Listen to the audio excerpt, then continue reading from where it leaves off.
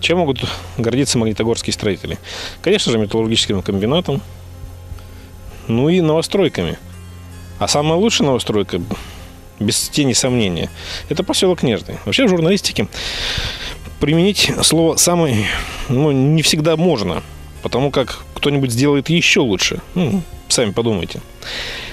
Но в данном конкретном случае действительно поселок Нежный является самым лучшим, потому как руководство поездило, посмотрело и, как оказалось, есть чем гордиться. И о предмете гордости сегодня поподробнее. Востребованность. Вот что сегодня предмет гордости. Сегодня магнитогорец может выбирать, где он будет жить. В квартире, таунхаусе или доме. И даже просто прокатившись по новостройкам, а лучше делать это вечером, можно убедиться, что в городе реально востребовано.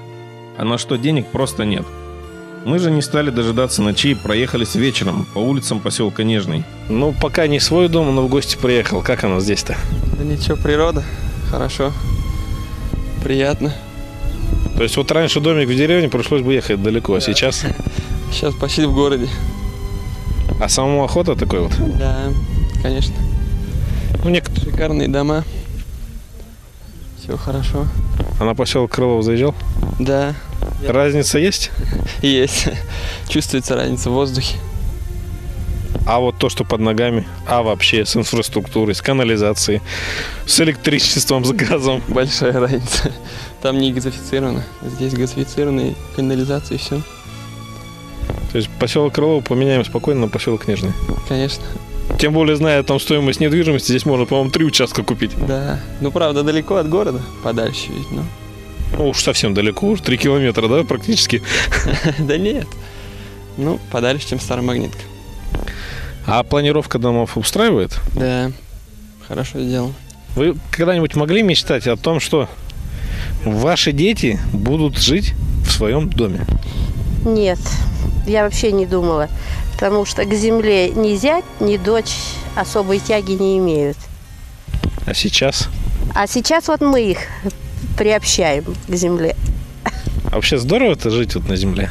Конечно, что не надо разрываться, ехать в сад, ехать в гараж, все это в одном месте. Конечно, это здорово.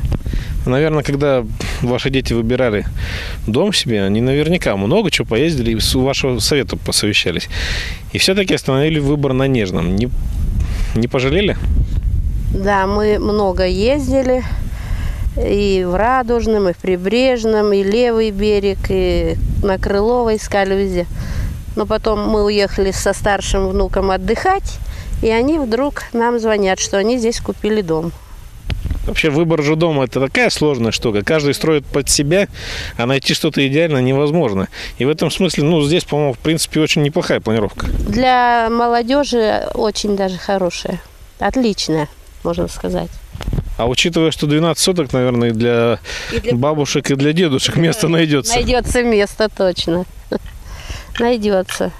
У нас вообще в городе квартира, и мы пока с ней расставаться не думаем. Но вот внуков по- по- поднимать помогаем. А вообще мечта, да, вот на пенсии, ну, даже если квартиру в городе можно же сдать, в конце концов, рано или поздно. Вот, тем более, что квартира-то востребована, а жить спокойненько рядышком от города, тем более, что здесь, ну, езды буквально 2-3 минуты до города. Да, это правильно. Не может творческий человек работать и жить в четырех стенах. Не может. Надо как минимум квадратов 150, 180 или 12 соток. Что думается по этому поводу? Да думается, что семья растет, а когда в семье сын, надо, чтобы потом ему достался дом по наследству. Вот.